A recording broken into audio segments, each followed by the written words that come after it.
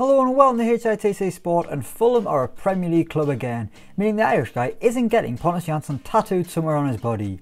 Through hell and high water he was right about the bees, despite it going down to the wire, meaning there'll be no tattoo and Brentford are spending another year in the Championship.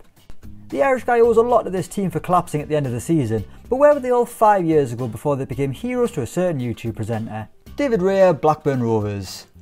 What a year it's been for David Raya. He only joined Brentford last summer, but he's played every single minute of football for the Bees and was the joint Golden Glove winner with 16 clean sheets. Five years ago, Raya had just completed his first season in senior football, playing two championship games for Blackburn Rovers, who he joined in 2014. He's played in the Conference and League One, and fortunately for one man, he's staying in the Championship for now. Ethan Pinnock, Dulwich Hamlet. This Brentford side have a plethora of players who've been on a real journey, but no one has come further in five years than Ethan Pinnock. In 2015 the defender was still a non-league player, playing for Dulwich Hamlet in the Isthmian Premier Division.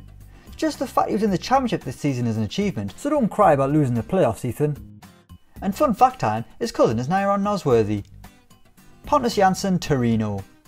The reason behind this video, it all started with a stupid bet on a YouTube video, and now some pasty Irish fellow with a scarf and a razor tongue has got away with murder and won't have to get a tattoo of Pontus Jansson on his body all because of one game the lucky bugger. The super Swede, or not so super depending on who you ask, was a bit part player at Torino, and like the other two players, so far has had an incredible first year in red and white.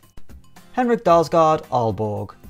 Finally we've got a Brentford player who didn't join the club last summer.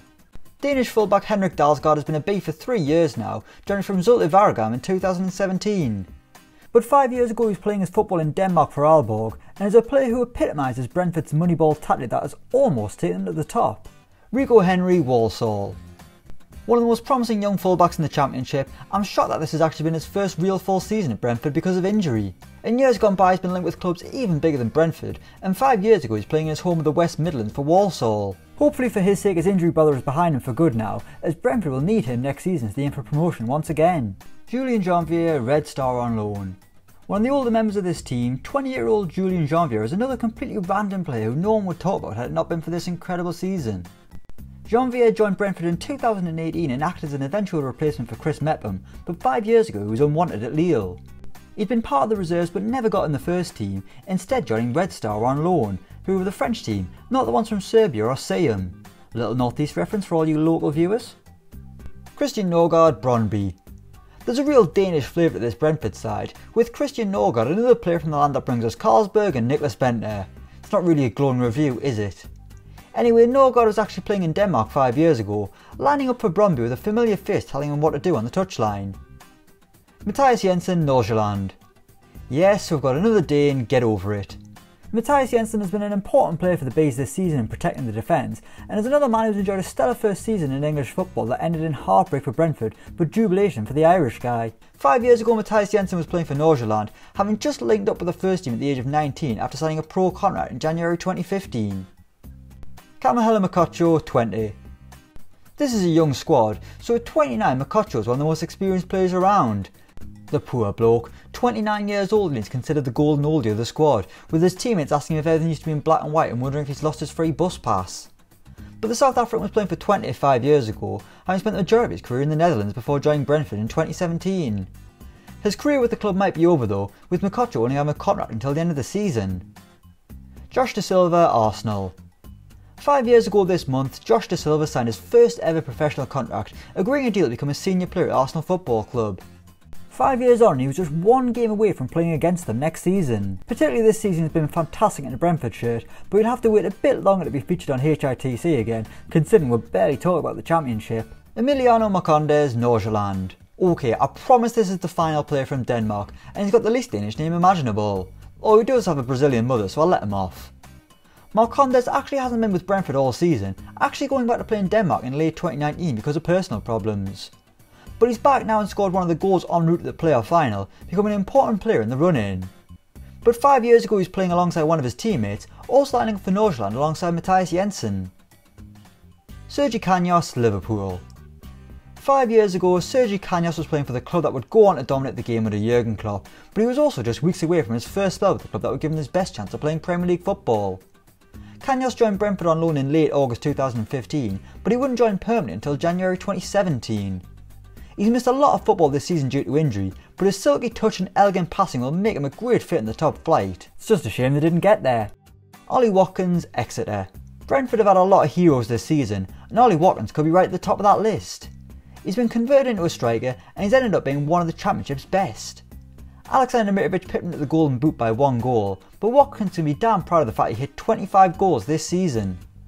In 2015 he was still an Exeter player playing out wide and actually just completed a season on loan with non-league side Weston-super-Mare, the home of legendary Channel 4 event T4 on the beach. Some of you probably aren't actually old enough to remember that, but anyway. Idolising Thierry Henry, there's no doubt that he's ready for the Premier League no matter who he's playing for. Bryan and Mbeumo, Troyes. He's the youngest member of Brentford's incredible front three and possibly the least talked about, but there's no doubt that Mbeumo is another incredible talent who is a testament to Brentford's amazing scouting setup. So many of these players were signed last summer and settled in immediately, and Mbeumo was no different, scoring 16 league goals despite only just preparing to turn 21 on August 7th. Brentford signed from French side Troyes, and that's where he was five years ago, just part of the youth setup and wondering how far he can go in the game. Sorry Brentford fans, but this lad is definitely going to be playing for a bigger club no matter how well you've done. Said Benrahma and Nice. The championship second coming of Riyad Mahrez, Said Benrahma is worth the admission fee alone for Brentford fans. Back when they were actually allowed to go to games, of course. Benrahma's unstoppable at times, playing like his fellow Algerian did back when he was in the second tier.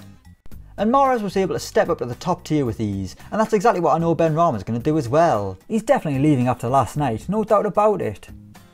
Five years ago Benrahma was with Nissan on the fringes of the first team, despite just being a teenager. Now they'll be wondering why they let him go for so little. Just think they could have him on one wing and Alan Saint-Maximin on the other.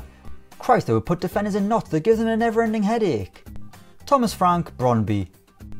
the man who was so nearly the genius behind the operation, Irish guy can thank Thomas Frank's eventual shortcomings for the fact that his body will remain tattooless. Thomas Frank is one of those weird modern managers with no real experience as a player, but in management he's been a bit of an overnight success. Five years ago he was with Brøndby, not knowing that he'd eventually head to England, take over a club in West London, and come so close to forcing an Irish gentleman to get a tattoo of his captain. Irish guy heading to England. If it wasn't for this man's stupid bet, we probably wouldn't be talking about this right now. But five years ago he was preparing to head to England for education, where he'd meet a fellow football fan and eventually go on to kick off a YouTube channel that led him to stupidly saying he'd get a tattoo of Pontus Jansson if Brentford got promoted. Christ, that was a close shave. Ah well, at least I still got Fulham going up right, I didn't really care who won. So there we have it, that's where this Brentford team were five years ago. The team that couldn't get the job done and robbed us all of a fantastic piece of artwork, although it has made a young Irishman's year and ensured he won't have to have an awkward conversation the next time he sees his mother. Thanks for watching. If you like this video, give it a like, share and subscribe to HITC Sport. But until next time, we'll see you around.